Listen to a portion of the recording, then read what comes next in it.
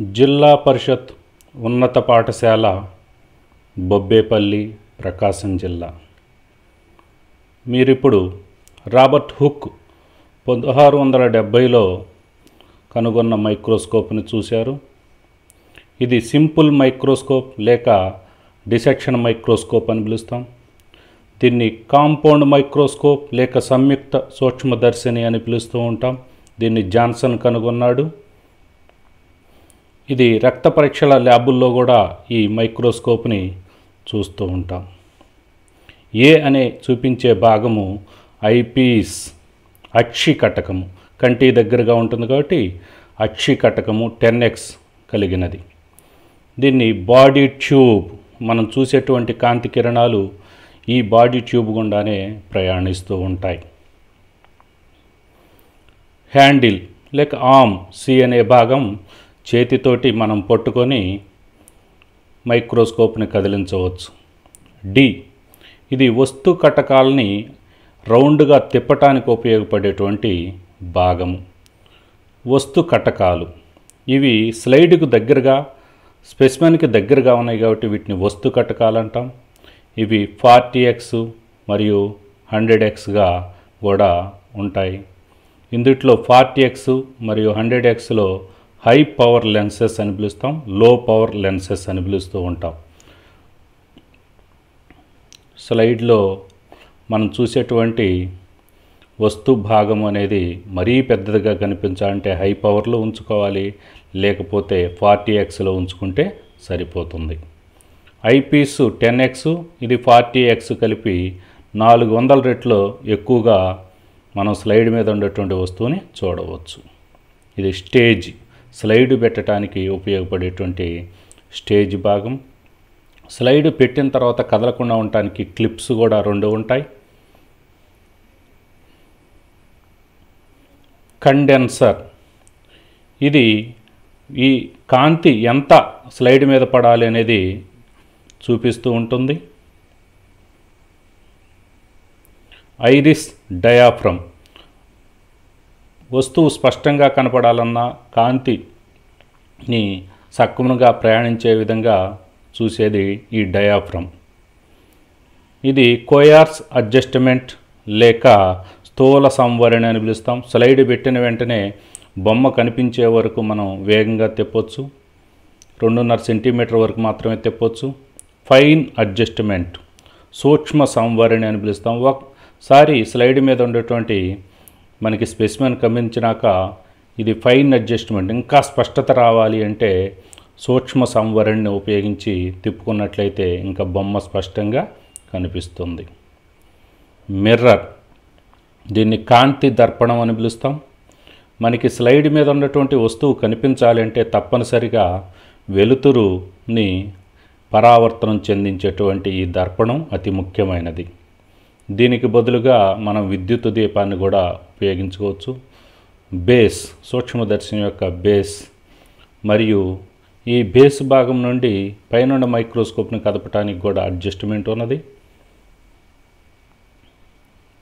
ఈ సంయుక్త సూక్ష్మదర్శిని జకారియస్ జాన్సన్ అనే శాస్త్రవేత్త పదిహేను వందల తొంభై ఐదులో కనుగొన్నాడు. సంయుక్త సూక్ష్మదర్శిని వచ్చినాకే మనకి శైవలాలు నీటిలో ఉండేటువంటి సూక్ష్మజీవులన్నీ కూడా చూడగలుగుతున్నాము. ఇప్పుడు సో సంయుక్త సూక్ష్మదర్శిని పనిచేసే విధానం చూద్దాం. Step one. మనం ఒక చేతితో పీఠ భాగాన్ని రెండో చేతితో హ్యాండిల్ పట్టుకొని మనకి కంటికి అనుగుణంగా కూడా ఈ మైక్రోస్కోప్ని సవరించుకోవచ్చు. ఓన్లీ పీఠ భాగం తప్పితే మిగిలిన మైక్రోస్కోప్ భాగం మొత్తము కూడా కదులుతూ ఉంటుంది. Step two. రెండవ దశలో స్లైడు పెట్టే ముందు మనకి స్థూల సంవరణి లేక కొయర్స్ అడ్జస్ట్మెంట్ని ముందుకి వెనుకకి అంటే పైకి కిందకి కదుపుకోవచ్చు. మనం ఫస్ట్ టైము ఫార్టీ ఎక్స్ వస్తు కటకాన్ని మాత్రమే ఉపయోగించాలి. మూడవ దశలో మనము సెక్షన్ కటింగ్ తీసినటువంటి కానీ లేకపోతే ఒక కీట సూక్ష్మజీవులు ఉన్నటువంటి నీటి చుక్కను కానీ స్లైడ్ మీద వేసుకొని ఆ స్లైడ్ని స్టేజ్ మీద ఉంచుకొని ఐపీస్తో చూడవచ్చు. ఒక కన్ను మూసి ఒక కంటితో మాత్రమే చూస్తే లోపల మనకి ఆ సూక్ష్మజీవులు అనేవి లేక కణాలు అనేవి స్పష్టంగా కనిపిస్తూ ఉంటాయి. ఇప్పుడు మీరు ఐపీస్ గుండా చూస్తూ ఉన్నారు. కింద అద్దము లేక కాంతి దర్పణాన్ని మనకి స్లైడ్ మీద ఫోకస్ పడే విధంగా మనం సవరించుకోవాల్సి ఉంటుంది. అంటే సూర్యుడి ఎండ డైరెక్ట్గా పడకూడదు. మనకి కంటికి హాని జరుగుతుంది.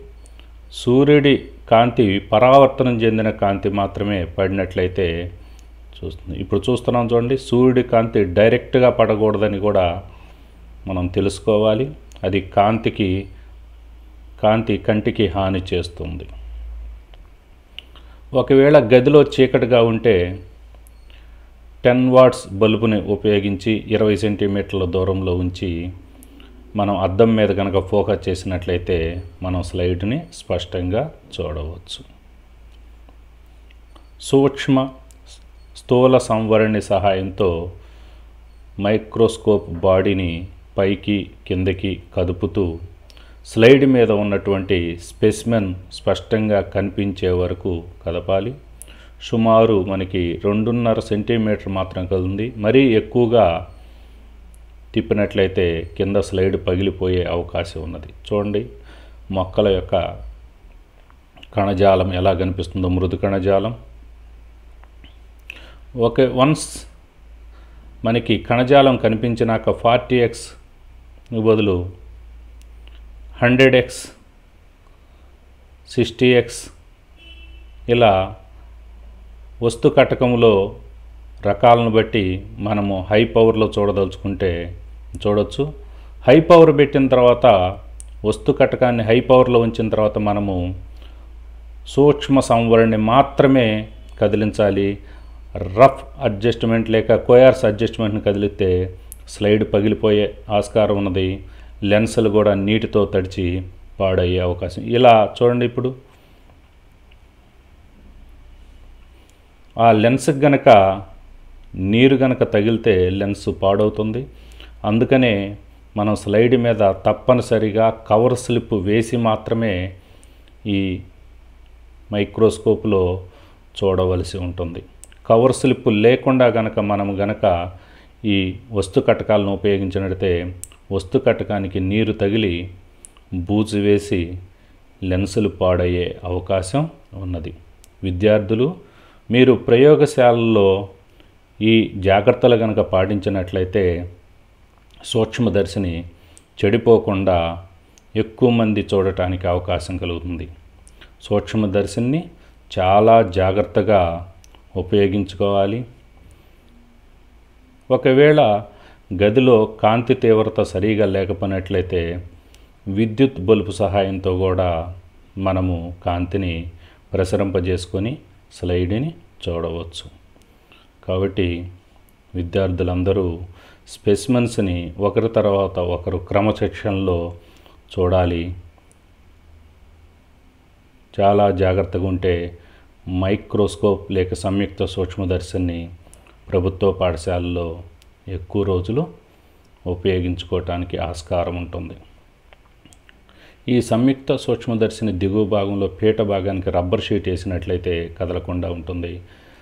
సో సంయుక్త సూక్ష్మదర్శనంలో కనిపించేటువంటి వివిధ కణజాలాలు ఇది దృఢ కణజాలం కాండం అడ్డుకోతలు ఆకు అడ్డుకోతలు మరియు ఇది కాండం యొక్క అడ్డుకోతలో దారుని మీరు సెకండరీ దారు ద్వితీయ దారుని మీరు స్పష్టంగా చూడవచ్చు. ఏకదళ బీజ కాండంలో నాళికా పుంజాలను కూడా మీరు ఈ సూక్ష్మదర్శనంలో చూడవచ్చు.